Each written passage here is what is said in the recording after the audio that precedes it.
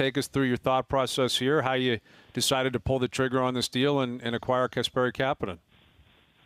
Well, we like Kapanen. I mean, we really didn't want to trade him in the first place, but we had a chance to get Phil Kessel, so we had to do it. But uh, we followed him. We like him. We we've kind of had a little bit of a revolving door in our top six where we're moving guys in and out. And now with the addition of Zucker and and Kapanen, we feel that our top six is set.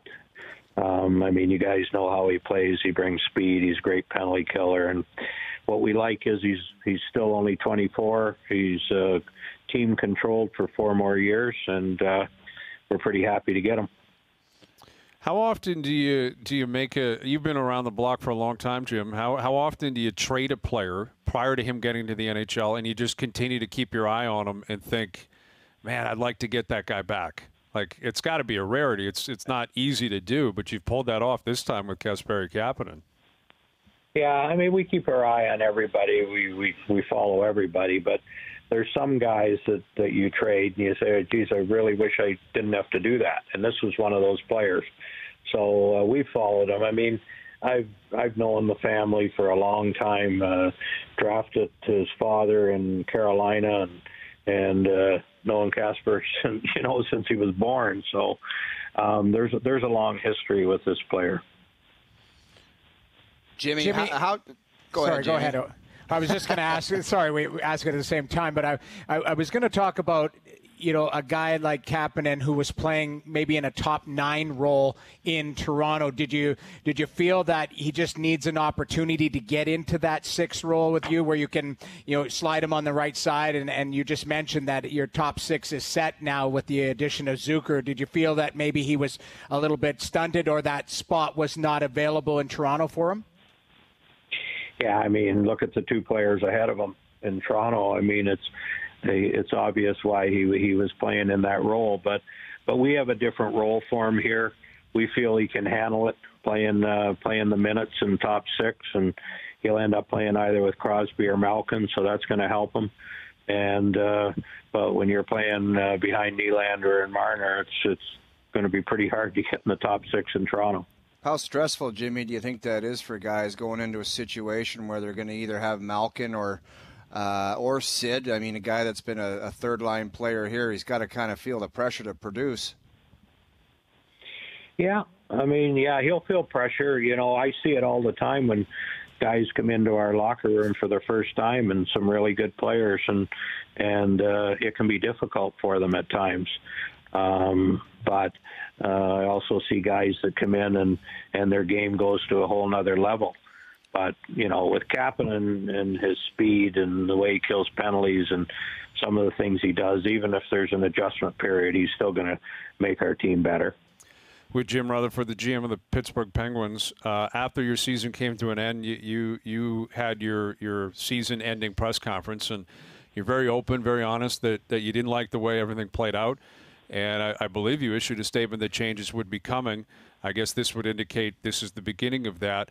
But when you evaluated your team and you, you came to that conclusion, how much of that was based on the five games or the four games in the bubble? Uh, and how much of it was the previous 70 games during the regular season? It's a, it's a difficult year for evaluation.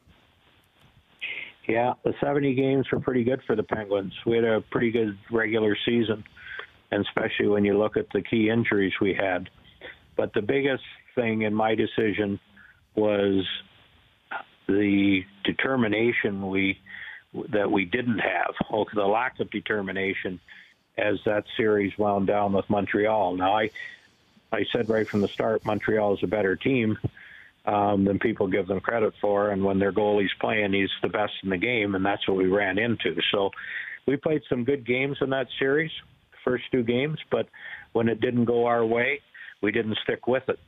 And the key to my decision was what happened the year before when we played the Islanders and we got beat four straight. We probably deserved to win the first two games, but their goalie was good, and and then we fizzled out again. So when you're starting to fizzle out two years in a row, it's not about whether you lose; it's it's about how you go about losing. And uh, in my opinion, we didn't uh, we didn't give everything we had um, and play desperate hockey at the end of those series. And when that happens, then something's got to change. So would that that evaluation apply to every player, uh, Crosby and Malkin included? Well, uh, yeah, evaluation is is for every player, of course, but you you have to look at what players can do for you and what what they are doing for you, and uh, you know, I mean, in in those guys' I mean, I thought I thought Sid was good. In Gino's case, he got a little bit frustrated, but he was good early in the series, and and had a really had a terrific year his regular season. So you know, it's I'm I'm not uh, I'm I'm not concerned about our core guys. I'm not I'm not looking to change them. With Jim Rutherford, the uh, GM of the Pittsburgh Penguins. Uh, so when you consider where we're going here with the NHL, with um, the salary cap being flat for a couple of years, the schedule is going to be off a little bit. Um, how, how, do you navigate through this, Jim? Do you, I mean, the, the, move you made today would suggest you're just going to treat it like any other offseason. Uh, but does it feel like any other offseason considering how unique everything is right now? Yeah, it's really unique, and it's an odd time of the year for us to be doing certain things, but nothing changes for somebody in my position. I mean, we have to get ready to play the next season, and we have to improve our team. And uh, so, you know, I'm going to have to make more changes to, you know, to get our get us under the cap where obviously everybody knows we're going to trade one of our goalies. Um, and, you know, if I can make trades where we bring in younger players, that would be good for the organization because I trade most of our first round picks. But in this case, I, in this case, I decided that the guy that we were taking at 15 was not going to help the Penguins within the window that we have to contend, and and Kapanen can.